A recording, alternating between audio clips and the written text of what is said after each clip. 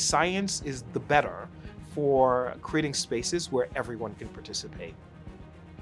Sort of changed my life. The first 19 PhD students I had were all men, and 16 of the last 26 have been women. I still think having an imagination is probably what drives me because I think, well, one day I will show you that this is going to work. You know, it's just amazing to me how important photosynthesis is and how people don't understand it. Most of the time, you can't do it all. You shouldn't get demotivated doing what you can do by what you can't do.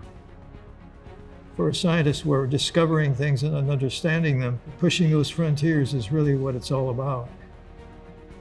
You need tools to investigate the brain, and tools are all things we're making electronically. When we made our first successful solar cell, I realized immediately that we sort of opened up Pandora's box. I was doing the RNA, Drew was seeding the dendritic cell, generating it, testing it. Yeah, I mean, it was it was 25 years of work being stuck in my arm. um, you know, it, it it was a fantastic feeling. In more than 35 years uh, that I've had in the industry, I've never seen anything done at this scale and with this kind of speed.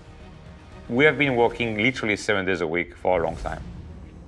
If there is a message that comes out from this pandemic, and particularly our endeavor, it is that uh, uh, don't ever think something is impossible before you try it. You will be surprised.